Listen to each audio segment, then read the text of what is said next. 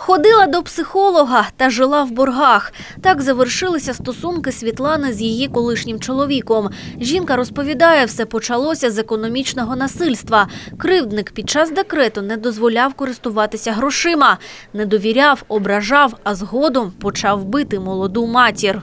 Когда тебе говорят, что ты не такая, что ты не соответствуешь каким-то критериям, нормам, хотят от тебя каких-то отчетов постоянных, регулярных, забирают карточки кредитные, ну, то есть э, ты остаешься без средств к существованию с двумя детьми, да, и при этом э, с тобой постоянно чем-то недовольны. Это приводит к постоянным скандалам, каким-то э, невыяснениям отношений, и э, в итоге это переходит уже в физическое насилие.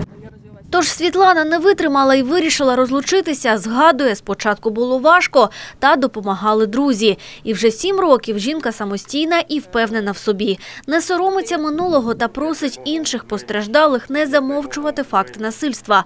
Такі випадки можуть призвести до трагедії, розповідають правоохоронці. Олег дільничний уже рік працює в групі реагування Поліна. Розповідає, що разу під час опрацювання викликів поліцейські готові до будь-чого.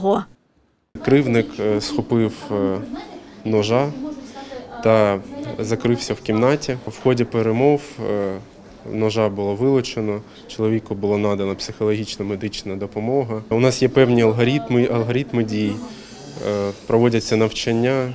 Аби втекти від аб'юзера, можна звернутися до поліцейських або служби в справах дітей. Вони направлять до спеціального притулку.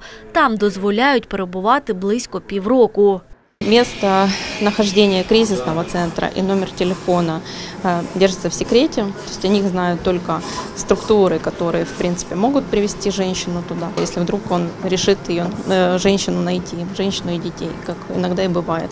Тому постраждалі потребують захисту і допомоги. Про це кажуть і на виставці. Ножиці, щоденник, гаманець і ще декілька речей, якими кривдники користувалися під час насильства. 15 плакатів історій, які реально відбувалися з українцями. Мета експозиції – закликати постраждалих вчасно реагувати на факти насильства.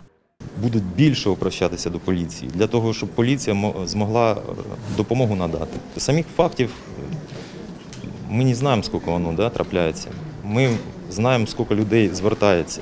За інформацією правоохоронців, в Україні щорічно реєструють близько 150 тисяч звернень щодо насильства в сім'ї. І цей рік не є винятком. Валентина Чурікова, Євген Бачев, Віктор Зубенко. Інформаційна програма «Дзеркало».